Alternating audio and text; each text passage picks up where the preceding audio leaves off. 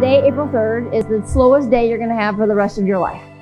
The pace of change has never been higher. The level of ambiguity in the world right now never been higher. The level of complexity never higher. When you look at the winning business models of today, they look nothing like they did in the past.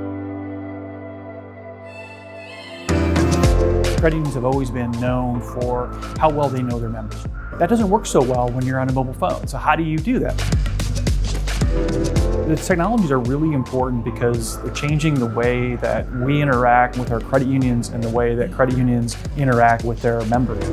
If you're not innovating as fast as the outside, you're getting behind. I thought that was the statement of the day. What can help us to serve our members better? Incredible opportunities. We just need to figure out what they are. The technology I was the most excited about was augmented reality.